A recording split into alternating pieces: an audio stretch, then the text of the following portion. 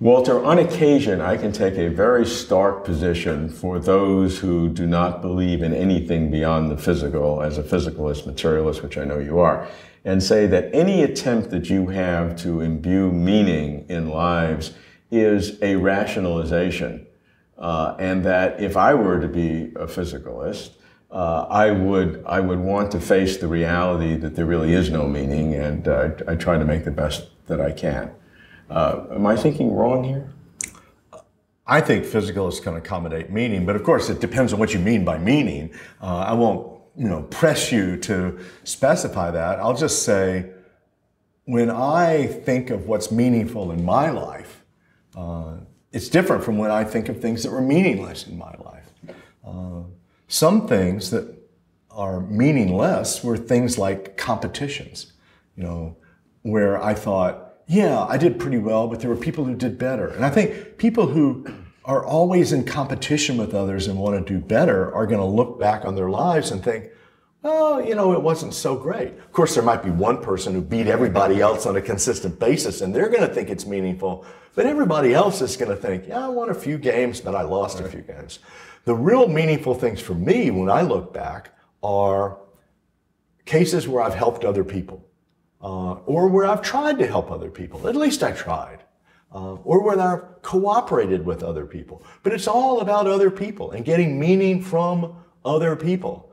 And if you come along and say, well, you're a physicalist, so you can't say that's meaningful, I'll say, gosh, it sure seems meaningful to me. Why would you think it's not?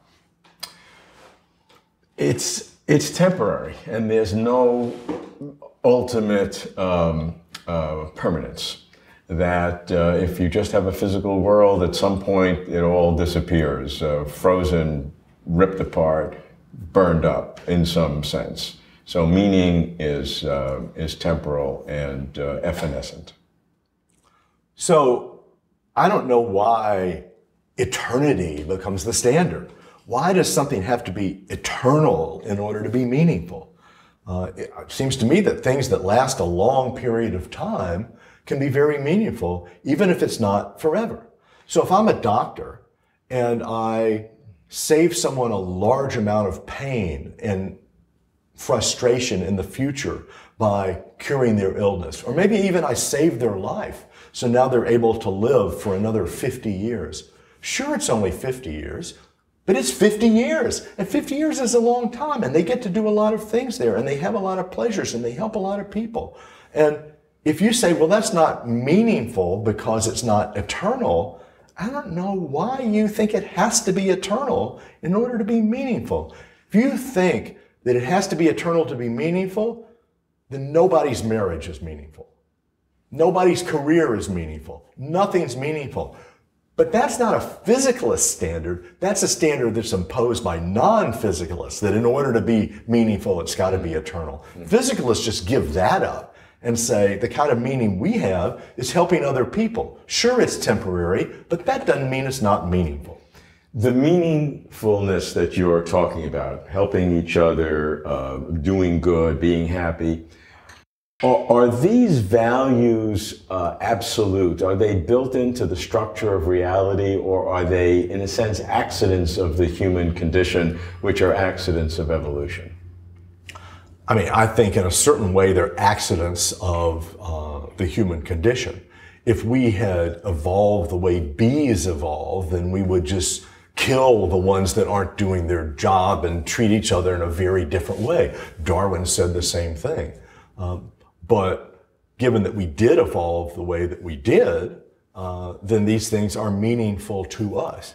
Whether something's meaningful to you has to depend on the way you evolved. Whether it's valuable is another thing, but whether it's meaningful to you has to depend on the kind of creature you evolved to be. And is there any correspondence uh, between that and some absolute standard in reality? Is there an, are there absolute values in reality to which some kind of meanings apply as antecedents. Uh, whether it's the bees killing each other, is to, to that the, the absolute good is is uh, is promoting the species, or in our case, uh, helping our fellow man.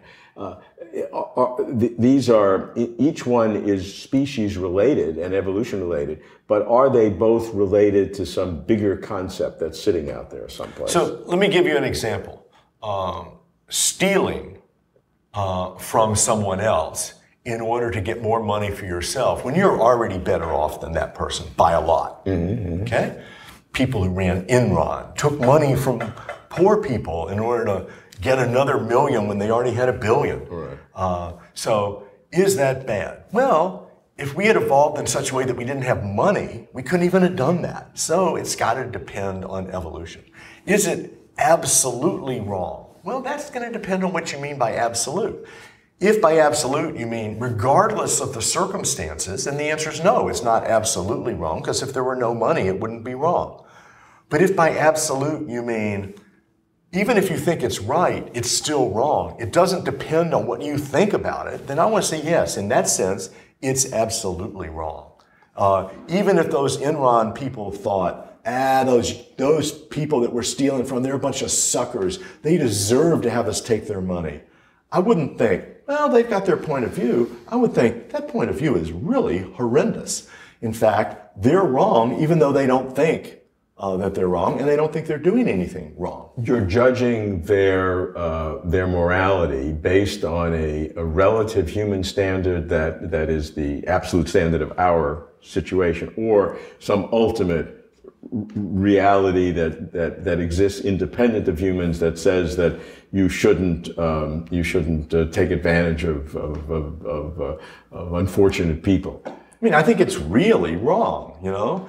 Uh, I think when someone gets, to change the example, I think, you know, when somebody gets raped, it's really wrong. And if the rapist doesn't think it's wrong, they're just wrong about that. It is. Uh, but then, if somebody says, but is it really wrong in the sense that it's built into the fabric of the universe? Where is the wrongness of rape? Is it over there? Is it over there? No. It's not located in a physical, in this particular place, right? And so, in that sense, it's not real in the way things other, other things are, but it's still real in the sense that it's independent of the views of the rapist. And it's independent of my views too. If I don't think it's wrong, but the victim does think it's wrong, then I'm going to be able to say, well, my, I'm incorrect and the victim's right. Uh, it's not dependent on my beliefs about whether it's right or wrong. And in that sense, it is absolute, but it's not absolute in the sense that it's a a physical object located at a particular place.